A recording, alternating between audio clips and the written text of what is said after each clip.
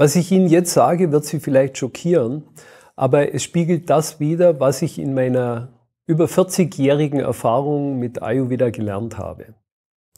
Die meisten Menschen bringen sich mit Messer und Gabel um. Die Ernährung spielt eine absolut herausragende Rolle für unsere Gesundheit und auch in der Therapie von Erkrankungen. Es gibt einen wunderbaren ayurvedischen Satz, der heißt, wer sich richtig ernährt, braucht keine Medizin. Wer sich falsch ernährt, dem nützt keine Medizin. Also die Ernährung spielt eine wichtige Rolle, wie auch Ludwig Feuerbach schon erkannt hat, der mal gesagt hat, der Mensch ist, was er ist. Das, was wir zu uns nehmen, strukturiert immer wieder neu unseren Körper. Ich möchte Ihnen die Geschichte von Klaus erzählen. Klaus, 37 Jahre alt, ein richtig guter Typ, kommt zu mir, weil er unter massiven Hautproblemen leidet. Er war bei sehr vielen Dermatologen, die ihm Cremes gegeben haben, mit Cortison behandelt, aber es hat nicht zu einem Erfolg geführt. Bei unserer Anamnese habe ich Klaus gefragt, ob ihm irgendein Dermatologe auch schon mal einige Ernährungstipps gegeben hat. Und Klaus sagte, darauf sind sie grundsätzlich überhaupt nie eingegangen. Ich habe ihn dann gefragt, wie er sich ernährt. Klaus meinte, er ernährt sich eigentlich ganz gesund. Und dann sind wir ins Detail gegangen. Er sagt, am Morgen isst er etwa drei Brote mit Salami und Schinken, vielleicht auch mal ein bisschen Käse, dann drei Tassen Kaffee dazu. Mittags ganz gemischte Kost, oft Hausmannskost, weil ihm das gut schmeckt. Da ist auch mal ein Schweinebraten dabei. Und abends isst er gerne viel, viel Salat. Also sehr, sehr gesund. Das war im Sinne von Klaus eine gesunde Ernährung. Diese Ernährung hat aber dazu geführt, dass seine Hautprobleme immer schlimmer wurden. Und ein wesentlicher Aspekt der Therapie, die wir bei ihm eingesetzt haben, neben natürlichen ayurvedischen Heilmitteln, war eine Umstellung der Ernährung. Und mittlerweile, drei Monate später, war Klaus wieder bei dem Dermatologen, bei dem er ursprünglich war. Und er war erstaunt, wie wunderbar sich das Hautbild von Klaus verändert hat. Warum? Weil nach seiner Meinung die Ernährung eine ganz herausragende Rolle dabei gespielt hat. In der ayurvedischen Medizin geht es nicht nur um das, was wir essen, sondern es geht auch darum, wann wir etwas essen weil die Biorhythmik unserer Verdauungskraft ist ganz entscheidend dafür, wie wir das, was wir zu uns nehmen, auch verarbeiten können. Am Morgen und am Abend ist unsere Verdauungskraft schwach. Mittags ist unsere Verdauungskraft am besten. Deswegen sollte man mittags nach Möglichkeit seine Hauptmahlzeit zu sich nehmen.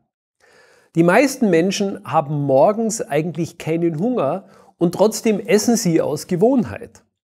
Ich würde Ihnen aber empfehlen, wenn Sie morgens nicht hungrig sind, dann lassen Sie doch einfach mal das Frühstück weg. Abends nehmen viele Menschen ihre Hauptmahlzeit zu sich. Abends ist aber die Verdauungskraft auch etwas schwach.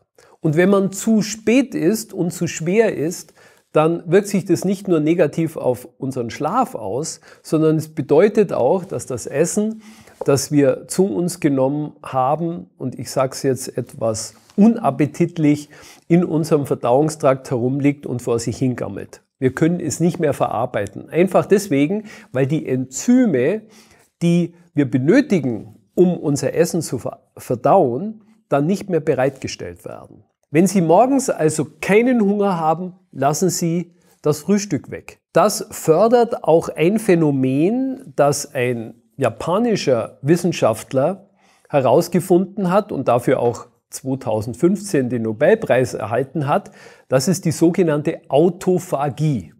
Autophagie bedeutet, dass es Mechanismen in unserer Zelle gibt, die geschädigte Strukturen innerhalb der Zelle auflösen und wieder recyceln, also die einzelnen Bestandteile dieser Strukturen wieder in neue Strukturen einbauen. Und diese Autophagie ist ganz entscheidend für unsere Gesundheit. Es gibt mittlerweile viele wissenschaftliche Studien, die das bestätigen. Sie haben alle von dem Intervallfasten gehört oder der 16-8-Regel. Das heißt, dass man zwischen der letzten Mahlzeit, die man am Vortag zu sich genommen haben, zum nächsten Tag 16 Stunden vergehen lassen sollte. Und das trägt massiv für unsere Gesundheit bei. Die Verdauungskraft nennt man in der ayurvedischen Medizin Agni. Agni bedeutet Feuer, also das Verdauungsfeuer.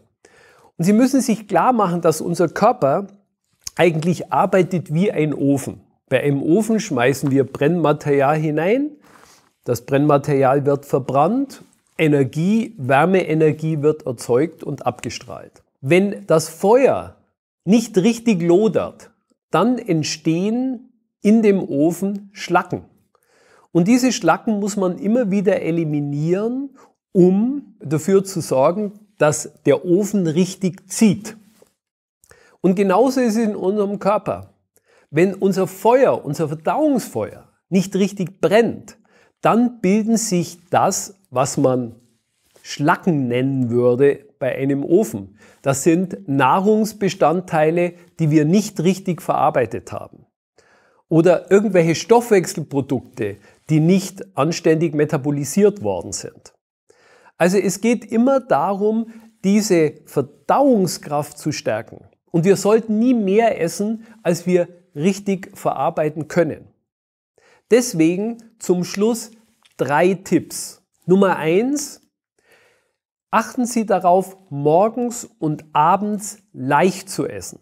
Abends vor allem möglichst früh keine Rohkost, kein Fleisch, sondern Dinge, die Sie leicht verdauen können. Suppen sind ideal dafür geeignet oder Gemüse, wenn Sie warm essen, mit etwas Reis oder mit Hirse oder mit irgendwelchen anderen Getreiden. Morgens, wenn Sie hungrig sind, sollten Sie etwas essen, aber nach Möglichkeit leicht, beispielsweise Obst oder gedünstete Früchte, zubereitet mit etwas Zimt oder Kardamom oder Gewürznelken. Und mittags nehmen Sie Ihre Hauptmahlzeit zu sich. Und das führt uns zu unserem zweiten Tipp. Achten Sie darauf, dass Sie nie so viel essen, dass Sie sich nach dem Essen müde fühlen und schwer. Es macht keinen Sinn, dass vor lauter Energie, die Sie sich jetzt zugeführt haben, Sie danach müde sind. Wenn Sie nach dem Essen sich müde und schwer fühlen, dann haben Sie gemessen an Ihrer Verdauungskraft zu schwer oder zu viel gegessen. Also achten Sie darauf, dass Sie sich nach dem Essen einfach gut fühlen. Und der dritte Tipp, den ich Ihnen geben will, ist, dass Sie auf Zwischenmahlzeiten verzichten.